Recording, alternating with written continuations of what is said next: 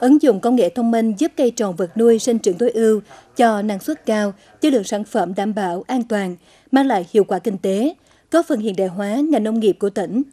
Chính những ưu điểm đó mà tỉnh Lâm Đồng đã và đang có nhiều chính sách khuyến khích các tổ chức cá nhân huy động nguồn lực tạo đột phá chuyển đổi số, phát triển nông nghiệp thông minh gắn với du lịch canh nông, hỗ trợ phát triển các mô hình ứng dụng đồng bộ công nghệ IoT trong quản lý trang trại, sản xuất, bán hàng, kho hàng thông minh, tài chính, truy xuất nguồn gốc và quảng bá du lịch.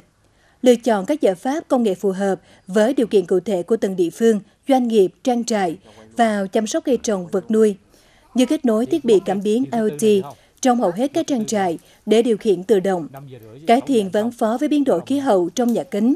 sử dụng đồng bộ công nghệ đèn LED để tối ưu hóa quá trình sinh trưởng của hoa, nâng cao hiệu quả khai thác năng lượng mặt trời, ứng dụng công nghệ robot, công nghệ quản lý tài chính, thiết bị bay không người lái để chăm sóc cây trồng, phòng chống dịch hại và cảnh báo thời tiết.